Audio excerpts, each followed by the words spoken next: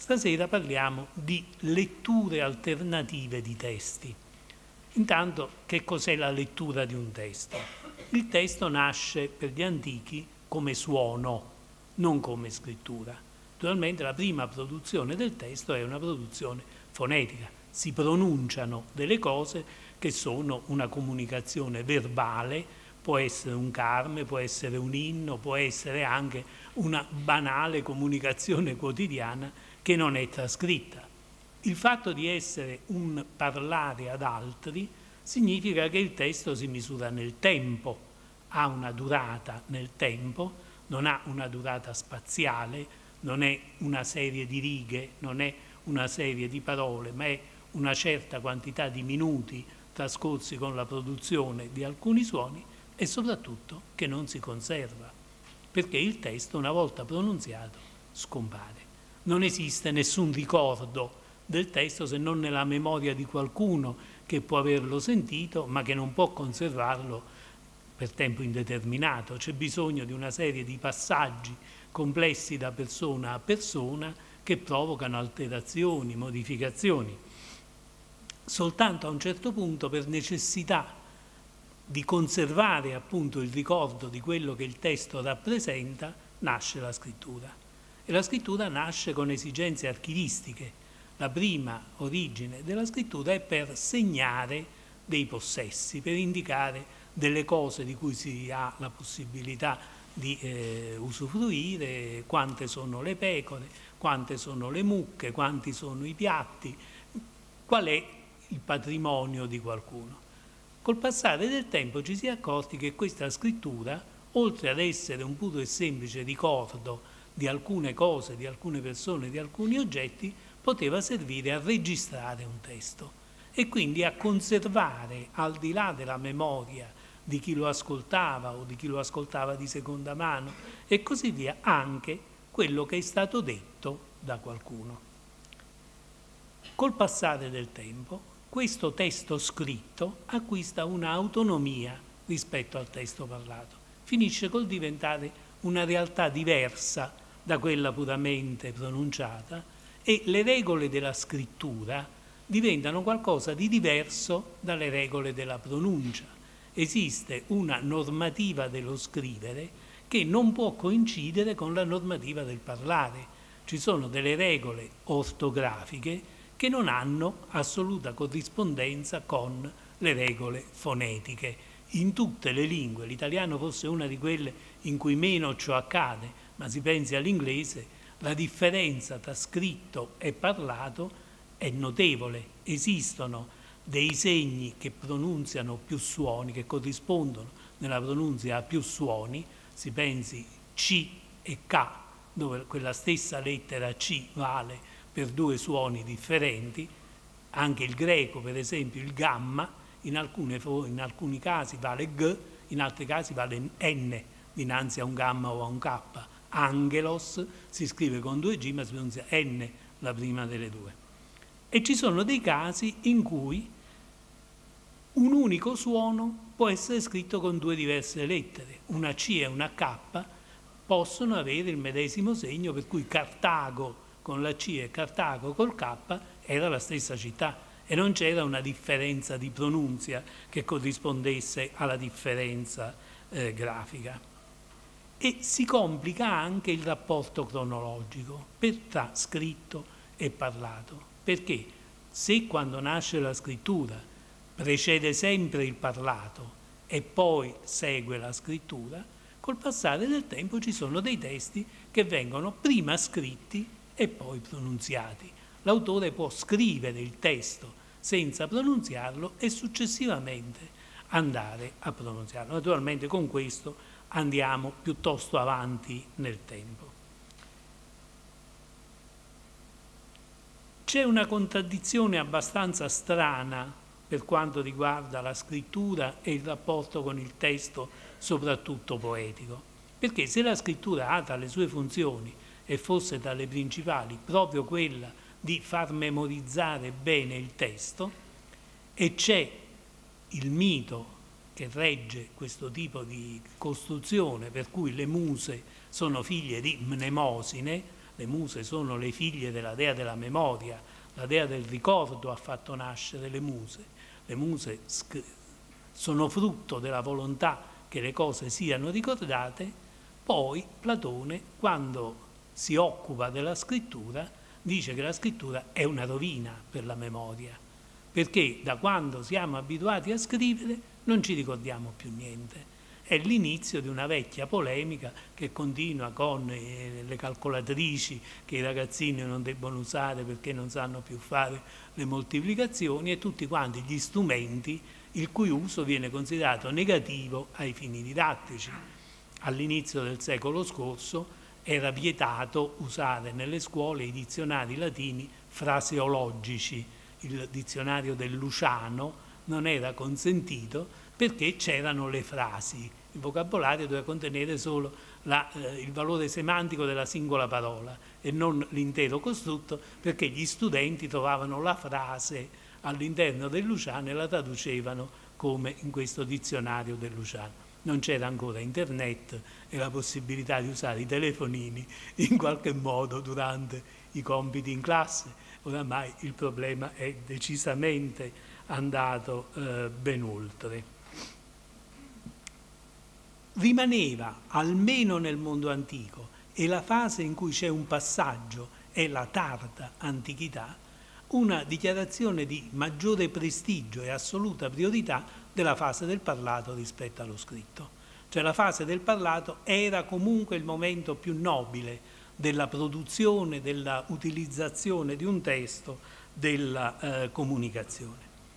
E questo valeva sia nel momento della lettura, sia in altre fasi della produzione e rielaborazione del testo. Leggere un testo per noi è per lo più fare una lettura silente di un testo scritto. Noi prendiamo un libro e lo leggiamo sottovoce. Gli antichi non facevano così se non in, in rarissimi casi, casi assolutamente eccezionali che facevano stupire chi vedeva una persona che leggesse in silenzio. Abbiamo una documentazione interessante perché è prodotta da un professore di scuola, Sant'Agostino, il quale dichiara il proprio stupore nell'aver visto Sant'Ambrogio che leggeva in silenzio. Perché a differenza di tutte le persone normali, Sant'Ambrogio aveva la capacità di leggere senza pronunziare le parole che stava leggendo, sapeva già leggere come noi, a differenza di quello che facevano i contemporanei di Sant'Agostino. E loro non sapevano se quando lui faceva questa strana cosa, lo facesse perché stava stanco e voleva fare finta di, di fare qualcosa mentre in realtà non faceva niente, eh, oppure avesse dei problemi alla gola e quindi non potesse pronunziare, lo dice ampiamente nelle eh, sue lettere a proposito di questa situazione.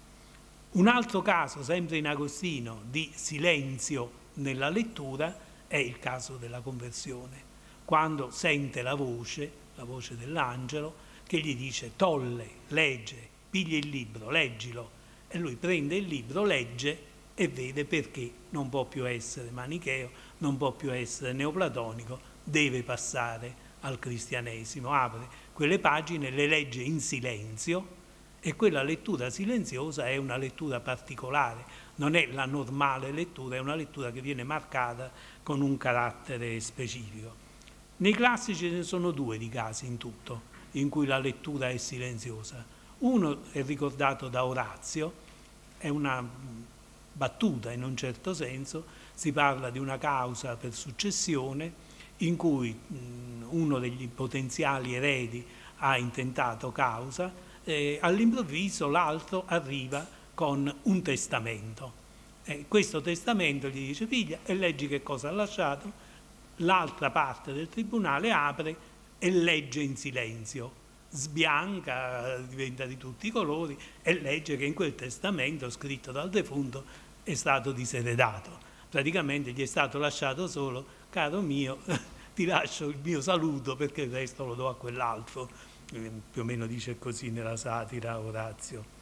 L'altro è interessante per una consuetudine che avevano gli antichi e una prudenza che doveva esserci nel leggere. È una delle lettere eh, di Ovidio, le Eroides, le lettere delle eroine, la lettera di Cilippe e Aconzio, in cui eh, lei dice che avendo ricevuto la lettera dell'uomo che la amava, del suo innamorato, la legge in silenzio, perché aveva paura che nella lettera ci fosse una formula che potesse impegnarla, in quanto se lei avesse letto nella lettera e l'avesse detto a voce alta, mio caro Aconzio, giuro di essere tua moglie, eh, eh, perché così stava scritto in quel testo, il fatto di averlo pronunziato diventava un impegno solenne, anche se non era la sua volontà, non era la sua intenzione, ma lo aveva detto e quindi era vincolata a quello che aveva detto. Se lo diceva in silenzio eh, era più tranquilla e più sicura. Bisognava dunque accompagnare con un suono, anche un suono non particolarmente netto, particolarmente chiaro, anche un suono un po' sottovoce, viene definito murmur, mormorio questo suono, ogni fase della lettura, anche quella di studio. E questo lo dice Quintiliano, suggerendo appunto questa modalità di preparazione di, con la lettura e meglio ancora se questa lettura viene fatta da parte di altri, cioè lo studente incarica qualcun altro di leggere il testo e lui ascolta il testo che viene letto. Questo perché leggere ad alta voce, anche se era quello che facevano gli antichi, comunque non è una cosa facile, perché gli occhi debbono avanzarsi rispetto al testo per capire quello che è stato scritto dopo e pronunziarlo in maniera adeguata e quindi c'è una sconnessione tra quello che fa la bocca che pronunzia una certa parola e quello che fanno gli occhi che leggono una parola successiva. Riuscire a capire il testo, a seguire questa necessità di leggere contemporaneamente un po' più a destra e pronunziare invece un po' più a sinistra, è un problema che facendo leggere ad altri viene superato e c'è la possibilità di completare bene la lettura. Imparare a memoria in silenzio è stato posto infatti anche questo problema. Sarebbe la cosa migliore se non si insinuassero spesso della mente lasciata in qualche modo inoperosa altri pensieri, a causa dei quali la mente deve essere tenuta a destra con la voce, in modo che la memoria sia aiutata dalla duplice attività di parlare ed ascoltare. Ma la voce deve essere misurata e piuttosto un sussurro. L'oratore che poi impara a memoria il testo che un altro legge, da una parte è più lento, dal momento che la facoltà della vista è più acuta di quella dell'udito. D'altra parte può trarne aiuto perché dopo aver ascoltato il testo una o due volte può subito mettere alla prova la memoria e gareggiare con chi legge. Infatti, guardare a destra, come generalmente si consiglia, e osservare anzitempo le parole che seguono, non è soltanto teoria, ma anche pratica, perché a chi guarda le parole successive è pur sempre necessario dire quelle che precedono e, cosa difficilissima, la mente deve sforzarsi di fare una cosa con la voce e un'altra con gli occhi. Non soltanto quando si leggeva il testo si produceva un suono che corrispondesse alle parole che venivano lette, ma anche la, lo scrittore, chi scriveva nel momento della scrittura, le parole che stava scrivendo con la mano le riproduceva come suono con la bocca. Questo è il terzo passo che di solito si cita ad esempio di questa consuetudine, ancora una volta una delle eh, eroidi ovidiane.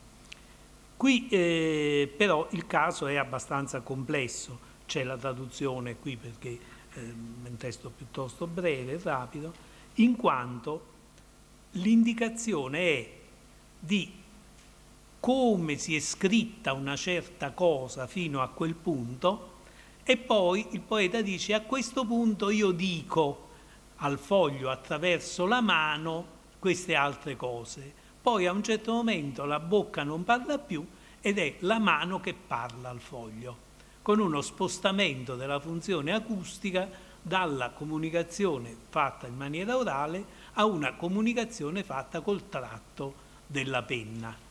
Però tutta questa comunicazione è giocata come se coincidesse con il testo che viene scritto, cioè a questo punto succede questa cosa, mentre in realtà nell'ordine logico sarebbe alla fine del testo quando si conclude il testo stesso. Quindi c'è uno spostamento all'interno del testo per cui si dicono delle cose che invece sono alla fine del testo stesso, quindi una complicazione notevole più questa eh, metafora abbastanza forte della mano che eh, parla con il foglio. Eh, la scrittura molto spesso era fatta soltanto con la voce, non anche con la mano, perché l'autore aveva a disposizione degli scribi, dettava, per cui molti dei testi antichi nascono non con la mano dell'autore accompagnato dalla sua voce, ma con la sola voce mentre le mani che scrivono sono di scribi. Anche qui Quintiliano interviene eh, criticando questo sistema perché dice siccome la eh, capacità di scrivere non corrisponde come velocità alla capacità del pensiero e della parola, si è rallentati dall'obbligo di rispettare il tempo dello scriba e le idee non rimangono nella mente. Quindi le idee dovrebbero essere in qualche modo lasciate libere e c'era la tradizione da parte delle persone che non volevano avere questo impaccio di dettare contemporaneamente più testi. Noi abbiamo la notizia che Cesare dettava contemporaneamente sette lettere, cioè dettava una frase a uno, poi un altro, un altro, un altro, e poi ricominciava, ricordandosi sempre a che punto era arrivato nella lettera a ognuno di quegli scribi, un po' come fanno i giocatori di scacchi quando fanno le multiple, che girano da scacchiera a scacchiera e riescono a uh, operare su tutte le scacchiere. E anche Cicerone ci dice che Galba era capace di fare nel Brutus, era capace di fare questo tipo di lavoro, cioè utilizzare tre scribi per scrivere tre opere contemporaneamente. La scrittura non era riservata, mm, questo tipo di scrittura non era riservata soltanto agli esponenti della cultura latina mm, in età eh, dell'inizio dell'impero, noi sappiamo che anche San Paolo le sue opere le dettava e non le scriveva personalmente. Quindi i testi paolini passano attraverso questo, questo percorso. E per questo scrivere si dice anche con la sola parola dictare. Quello che è dettato è in realtà scritto dall'autore e da questo dictare deriva tutta una famiglia di parole, in primo luogo il verbo dicto stesso, poi la dictatio, che ehm, nel tardo antico corrisponde a qualunque tipo di opera, addirittura con il diminutivo dictaziuncula, diminutivo di modestia, che Girolamo usa per fare riferimento ai propri testi, e da questa immagine della dictatio viene poi in età moderna, intendo per moderna l'epoca di Federico II, cioè la fine del Medioevo, l'inizio del primo rinascimento del XIII secolo, del dictamen. E l'ars dictaminis che era appunto la capacità di scrivere le lettere ufficiali come Pier della Vigna e tutta quanta la scuola curiale pontificia e imperiale, le due curie che riuscivano ad avere questa produzione di prosa letteraria attraverso questi dictamina. E oltre alla lettura e alla scrittura anche la correzione dei testi veniva effettuata a voce alta, quella che noi diciamo la correzione delle bozze, la rilettura di un testo era a voce alta ed era con l'orecchio che si doveva sentire se c'era un errore. Leggo delle parole di Guglielmo Cavallo, che è uno dei più grandi studiosi di storia della scrittura e del libro nell'antichità. La correzione avveniva di regola su basi auditive, sia nel caso di revisione dell'autore stesso, sia nell'altro della lettura saggio offerta agli amici o fatta da questi ultimi direttamente sullo scritto, il testo veniva pronunciato a voce alta e quindi era l'udito che doveva valutarne lingua e stile. I passi 4 e 5 sono due testimonianze di questa tecnica di utilizzazione del suono sopra la scrittura e per correggere la scrittura, nell'epigramma eh, iniziale del sesto libro la dedica a un suo omonimo che si chiamava anche lui Marziale come il poeta, eh, Marziale chiede al suo amico Marziale di correggere il testo e per correggerlo gli chiede al terzo verso quem si terse dissaure diligenti, eh, se tu lo correggerai col tuo orecchio finissimo. Quindi eh, questo orecchio, terseris significa letteralmente laverai, pulirai. Se tu pulirai il mio testo con l'orecchio, anche qua una metafora abbastanza impegnativa come la mano che parla con la carta, qui c'è l'orecchio che sciacqua il testo, che mette in ordine un testo sporco. Un tipo di metafora che piace a tal punto che cinque secoli più tardi la riprende Nodio, il vescovo di Pavia dell'inizio del VI secolo, che parlando di un suo amico, conoscente romano, preparatissimo e soprattutto che a differenza di tanti altri conservava ancora nell'orecchio il senso della quantità, le sillabe brevi e le sillabe lunghe che caratterizzavano il latino, eh, dice che questo qui aureum libram tenet in camenis, ha la bilancia delle orecchie nella poesia cioè le, le orecchie di questo sono delle bilance perché riescono a pesare le sillabe brevi e le sillabe lunghe, cosa che noi non facciamo più. Quindi, per così dire, dall'orecchio lavatrice all'orecchio bilancia con queste abbastanza gustose forme di, eh, di metafora.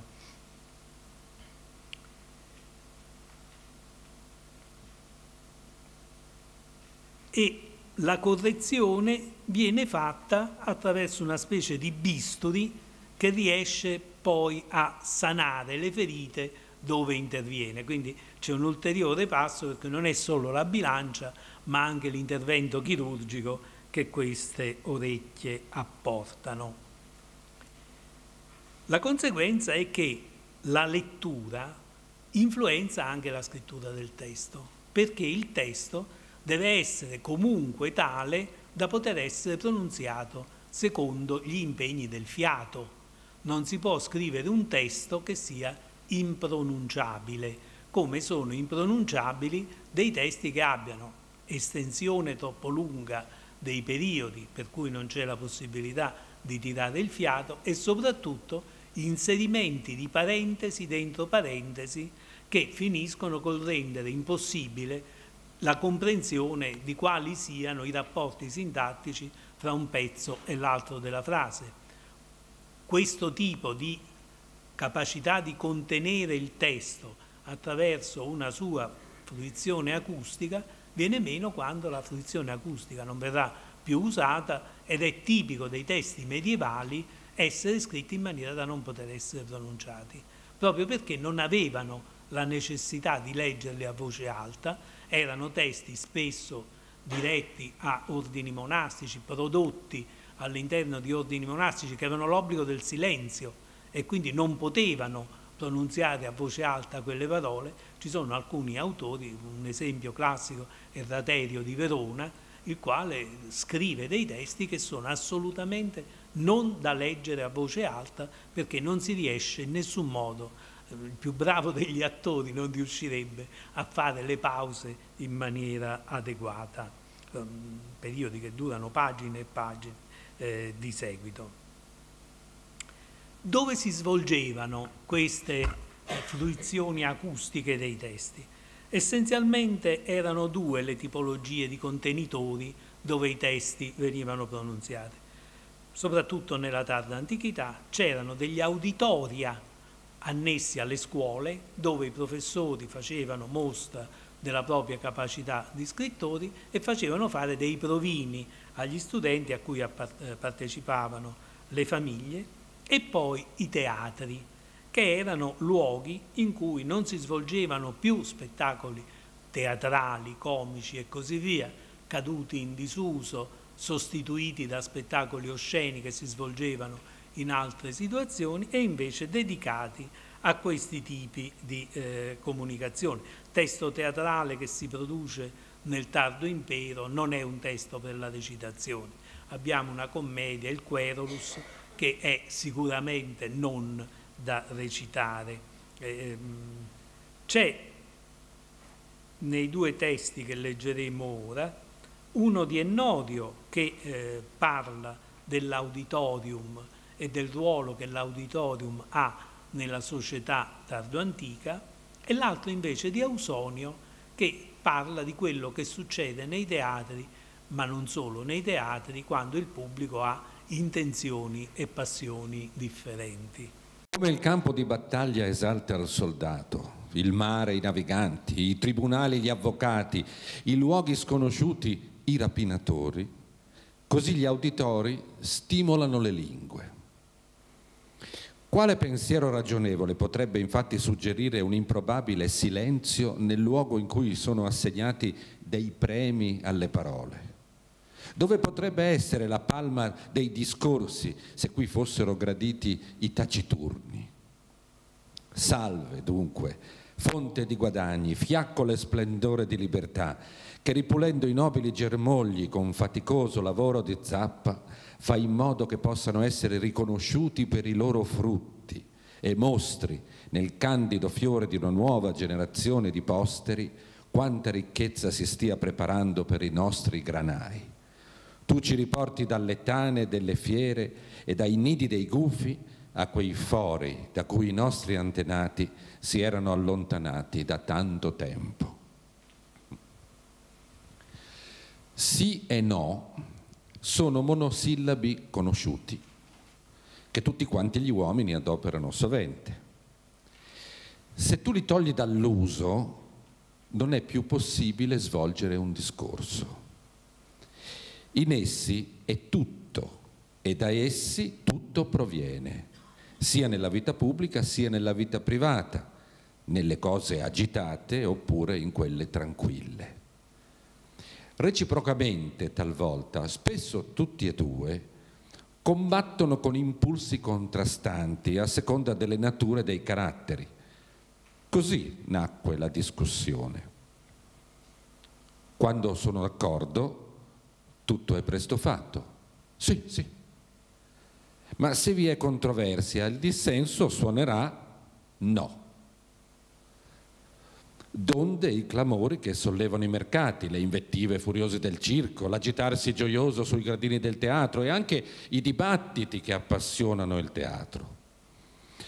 Spose, figli e padri si scambiano queste parole con sentimenti pacifici, senza che manchi il rispetto nel loro linguaggio. Essi sono gli strumenti con i quali le scuole agitano con pacifiche controversie dottrinali i piacevoli scontri di filosofiche contese, sono gli strumenti per le dispute di tutta la folla dei filosofi dialettici. C'è luce. È dunque giorno? Non è esatto. Perché di notte torce in gran numero e lumi fan chiaro all'uomo, ma questa non è la chiarità del giorno. Quindi sì e no al tempo stesso, quando è evidentemente chiaro ma non è ancora giorno. Donde sorgono mille contrasti. Così alcuni, e sono i più, dopo analoghe riflessioni, parlano fra i denti, rodono la loro rabbia in silenzio bella la vita umana, che due monosillabi sconvolgono. Questo è il grammatico Ausonio, professore di scuola Ausonio, che di questa sua professione di professore fece il punto di partenza per una carriera straordinaria, per cui divenne prefetto del pretorio per l'Occidente, ovvero sia capo di tutta la Gallia, la Spagna e l'Italia all'interno dell'impero romano perché aveva avuto la fortuna di essere il professore del giovane imperatore, il quale il giovane imperatore lo aveva particolarmente amato e lo aveva nominato a questa carica che tenne, bisogna dire la verità, con capacità in un momento tutt'altro che semplice. Mentre questa è la fruizione acustica del testo, si sviluppa autonomamente una fruizione visiva con il passaggio dal rotolo al volume che consentiva una utilizzazione diversa del testo medesimo, con il volume diviso in pagine era possibile confrontare due, due passi dello stesso libro molto più facilmente, bastava prendere una pagina e un'altra pagina, mentre il rotolo non consentiva questo passaggio contemporaneo se erano in due punti differenti, bisognava srotolare 4 metri di rotolo e poi correre da un lato all'altro per cercare di capire se si piegava si spezzava il rotolo di papiro, quindi non era se si girava nel senso opposto, si accostavano le due pagine. Comunque eh, questa evoluzione del libro probabilmente noi la vediamo in una maniera un po' eccessiva perché giustamente ricorda Cavallo che per così dire il libro preesiste al rotolo di papiro perché noi abbiamo delle tavolette fatte eh, con più fogli di legno già prima che ci fossero i rotoli di papiro. Quindi l'idea di una impaginazione sul tipo del libro è una eh, realtà già di secondo secolo, terzo secondo secolo avanti Cristo e quindi in pieno periodo di papiro anche. Eh, accanto a questa più usuale, più normale scrittura su un foglio, su un uh, supporto cartaceo, su una pergamena, ci sono altri testi che vengono denominati le scritture esposte.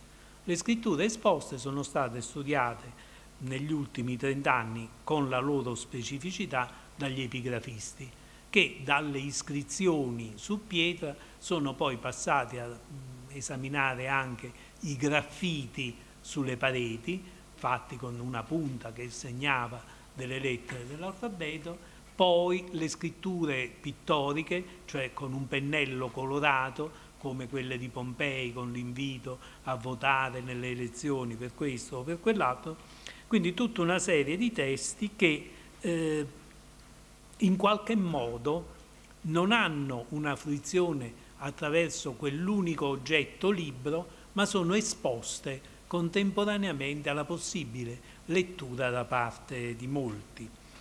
Eh, testi che rientrano nella tradizione scritta, ma hanno delle caratteristiche particolari perché un testo epigrafico richiede un modo di lettura differente rispetto a un testo scritto su pagina. Uno degli epigrafisti più noti degli ultimi anni, il professor Susini, fa presente questo.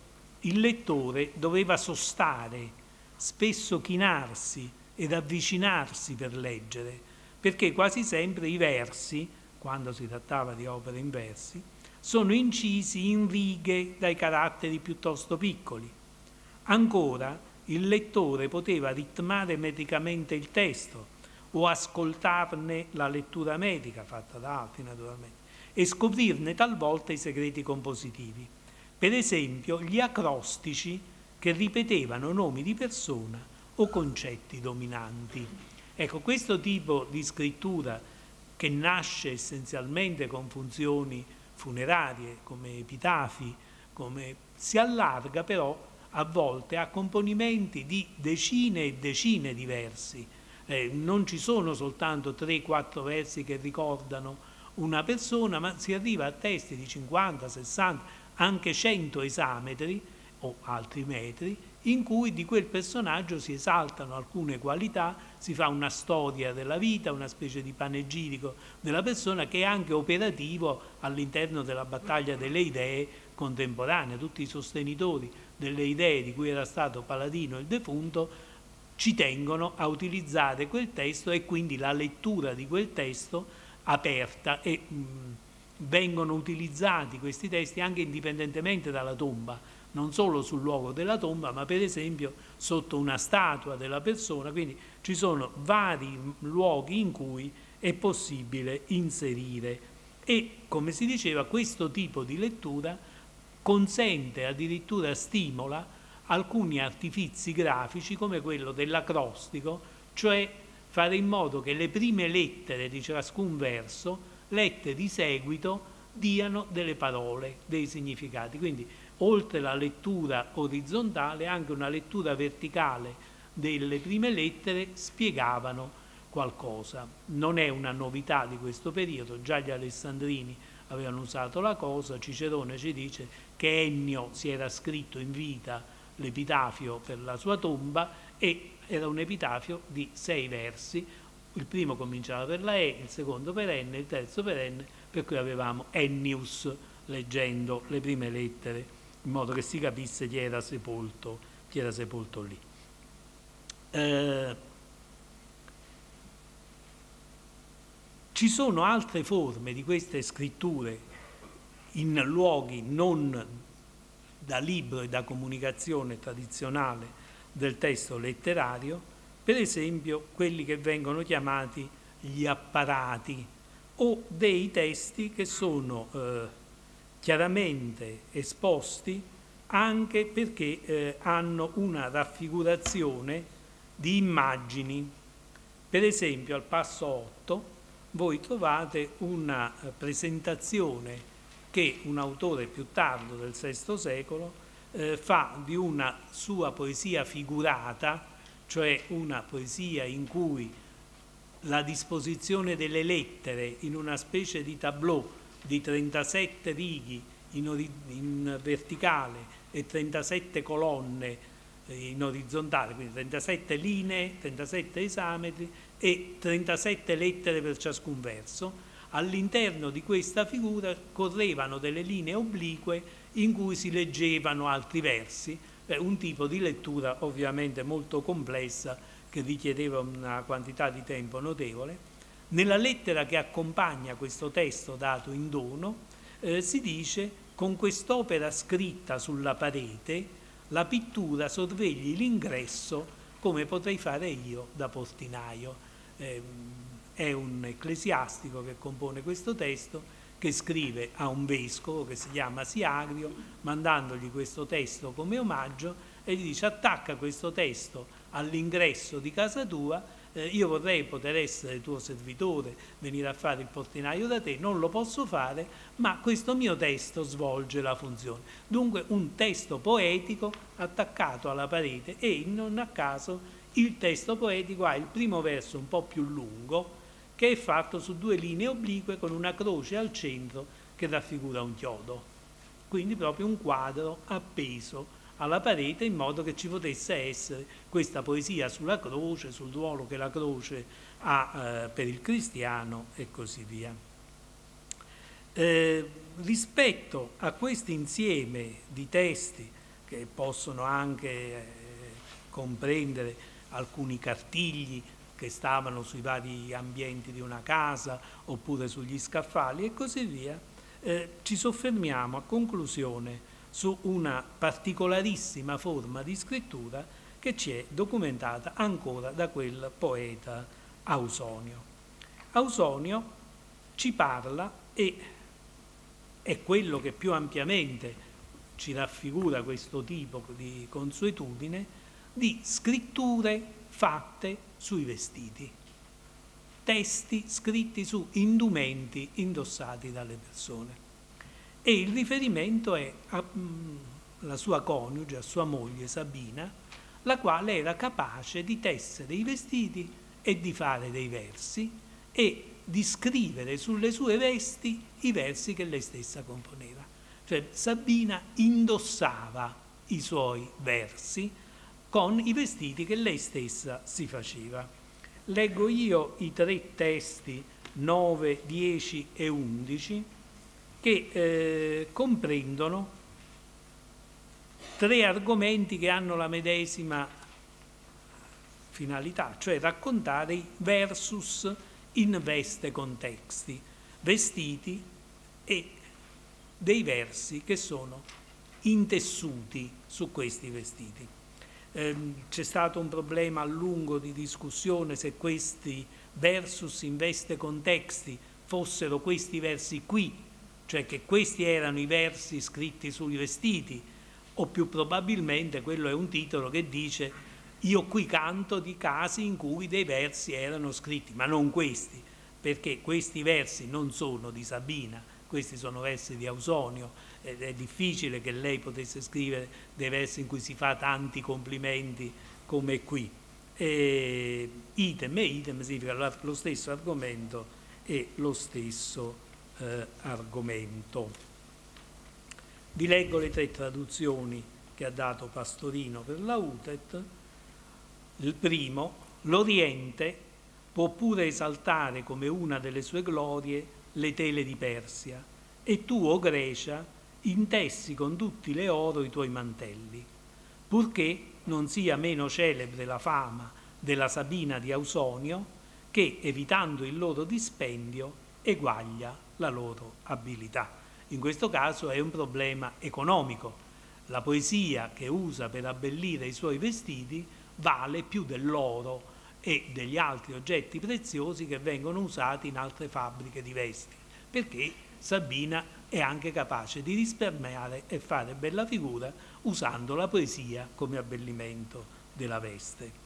Il secondo epigramma, sia che tu lodi la veste intessuta di trama di tiro, cioè con il rosso della porpora, sia che ti piaccia la graziosa iscrizione, l'una e l'altra sono opera della bella padrona, Sabina, da sola, coltiva queste due arti. E qui c'è un passo in più, cioè la capacità dell'autrice dei versi di essere anche autrice della veste, donna di casa e poetessa, potremmo dire. E infine il terzo, coloro che intessono stoffe e versi offrono i versi alle muse e a te, casta Minerva, le stoffe. Ma io, Sabina, non dissocierò due cose inseparabili perché ho trapunto sui miei drappi i miei versi. Quindi non ut pictura poesis, che è la forma classica oraziana, la poesia è un po' come la pittura, è possibile inventare qualcosa che non sia reale, ma in questo caso abbiamo ut textura poesis, quindi la poesia è una raffigurazione tessile e la capacità di intrecciare qualcosa in un vestito. Eh, questi carmi acquistano un significato particolare nel momento in cui sappiamo chi era questa Sabina e che cosa aveva significato per Ausonio la sua morte a 27 anni, perché Sabina era morta giovanissima a 27 anni e Ausonio era sopravvissuto molto a lungo a questa perdita. Nella famiglia di Ausonio sono tutti nonagenari, il padre, lui, i figli, tutti superano i 90 anni per quello che possiamo sapere, per quello che abbiamo come notizie e ricostruzioni, quindi una lunghissima vedovanza che eh, vive nel ricordo di questa moglie. E infatti nel lungo passo che trovate al punto 12 avete il ricordo di Sabina scritto dallo stesso Ausonio in uno dei suoi parentalia, gli epitafi non veri ma poetici che componeva per i parenti defunti. Fino a questo momento il mio canto funebre ha celebrato parenti assai cari e ben degni dei pianti versati alle loro esequie. I suoi pie accenti hanno pagato il mio debito alla loro memoria. Ora devo ricordare quello che per me è un dolore, una tortura, un fulmine che mi brucia. La morte della mia sposa rapitami immaturamente. Nobili erano i suoi antenati e di discendenza senatoria, era illustre per nascita, ma più illustre ancora era la mia Sabina per le sue rare virtù. Ancor giovane ti ho pianto, privato nei miei verdi anni delle mie speranze. Vedovo, ti piango ancora dopo nove Olimpiadi. Ora vecchio, non riesco a lenire il mio dolore che sempre ogni giorno mi si ravviva come se fosse di ieri che se alcuni riescono a ricevere dal tempo una consolazione alla loro pena, col passare degli anni invece la mia ferita si aggrava. Vedovo, tortura la mia canizia delusa e la solitudine non fa che rendere più tormentosa la mia tristezza. nel silenzio della casa muta, nel gelo del letto, la mia ferita si allarga, poiché non posso rendere partecipe nessuno, né di dolori né di gioie. Mi sento afflitto se altri ha una buona moglie, ancor più mi affliggo se ne ha una malvagia. Tu sei sempre presente come punto di paragone. Nell'un caso e nell'altro il pensare a te è per me un supplizio. Se una è malvagia perché tu sei stata diversa, se è buona perché sei stata come lei. E non mi rammarico per le ricchezze inutili eh, e nemmeno per i piaceri vani, ma perché così giovane sei stata rapita al tuo giovane sposo. Gaia, pudica, riflessiva, nobile per nascita e per bellezza, tu sei stata il dolore e la fierezza di tuo marito Ausonio. Eri sulla soglia dei 28 anni quando hai abbandonato due figli che erano il nostro pegno d'amore. Per grazia di Dio fioriscono come avevi sperato, nell'abbondanza di quei beni che desideravi per loro. E faccio voti che crescano vigorosi, perché un giorno il mio cenere possa annunziare al tuo che tutti e due sopravvivono. Questa vicenda personale complica naturalmente la lettura anche di quei tre epigrammi. Sono stati scritti quando aveva ancora 26-25 anni la ragazza, la signora, eh, e quindi era ancora in vita e non c'era quella cessazione dell'esistenza oppure era già scomparsa ed è un ricordo di quello che lei poteva fare. Noi purtroppo non abbiamo una possibilità di ricostruire la cronologia dei componimenti eh, ausoniani e un componimento in età particolarmente giovanile renderebbe più semplice la comprensione di tutto, anche perché abbiamo altri due testi relativi alla moglie o a una moglie, eh, non di Ausonio, cioè potrebbero essere testi che riguardano Sabina ed è quasi certo che sia così, o per altri potrebbero essere testi immaginati per una signora da parte di un qualunque altro uomo, cioè raffigurazione di un tipo e non della signora stessa. Eh, il 13 è quasi una battuta, eh, ancora più difficile da immaginare se lei fosse già finita, se lei eh, non ci fosse più. Eh, lo leggo io. Eh, il titolo dice l'opinione che di lui aveva sua moglie. Questi titoli noi non siamo certi che siano di Ausonio, è probabile che siano stati messi dopo. Se il titolo fosse di Ausonio, quell'aveva ci darebbe già un'indicazione, cioè aveva quando era viva. Se invece, come è quasi certo, è un'indicazione successiva, quando Ausonio e la moglie erano tutti e due scomparsi, chi ha messo il titolo usa un tempo del passato perché per lui era una vicenda del passato. Mentre mia moglie leggeva nei miei versi i nomi di reputazione equivoca delle Laidi e delle Glicere, disse che io scherzavo e mi divertivo inventando amori irreali. Tanta fiducia ha nella mia fedeltà. Ecco, questo naturalmente poi si può leggere in tutti i modi possibili e immaginabili, se fosse fiducia nella fedeltà o in qualche altra cosa, e se Ausonio nel dire tanta fiducia ha nella fedeltà volesse dire eh, che aveva ragione ad avere fiducia o che era troppo fiduciosa rispetto a quello che sarebbe stato opportuno gioco consapevole, ancora di più forse da immaginare fatto quando ancora sono giovani ragazzi sia Ausonio sia eh, la signora poi scomparsa.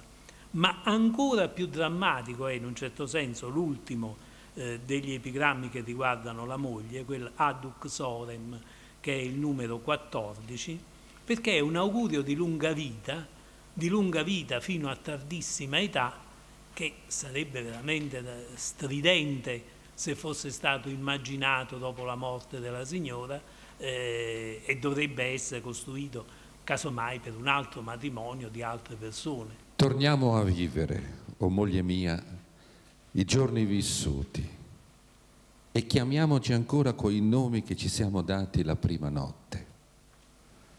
Il tempo, coi suoi giorni che passano, non cambi nulla per noi che io sia sempre per te il tuo ragazzo e tu per me la mia fanciulla.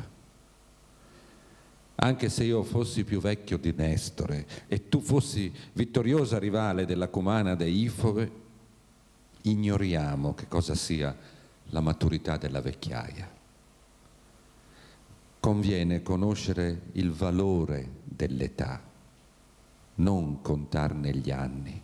Un ultimo testo che viene qui riportato ci riporta alla consuetudine di scrivere sugli indumenti, perché, come dicevo, anche se questa di Ausonio e di Sabina è la più diffusa, la più ampia consuetudine di scrivere sugli indumenti, non è l'unica. Infatti, in questo componimento numero 15, eh, Ausonio traduce un epigramma di Asclepiade un epigramma di Asclepiade eh, che affronta il medesimo argomento. Ne leggo la traduzione.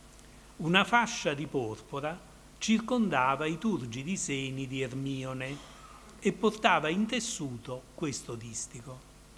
O tu che leggi queste parole, sappi che Venere ti ordina di amarmi e di non impedire che altri, seguendo il tuo esempio, mi ami. Dunque, eh, un invito all'amore e al tempo stesso alla libertà, al rifiuto di qualunque forma eh, di eh, gelosia. Il modello eh, asclepiadeo è un modello nettissimo e anche molto più esplicito di quanto sia nella poesia latina. Il latino è molto più edulcorato rispetto alle libertà che Ermione pretende eh, per sé eh, e scrive sul suo reggiseno un luogo dove la lettura è riservata naturalmente ad alcuni intimi, per così dire, no? mi sembra evidente.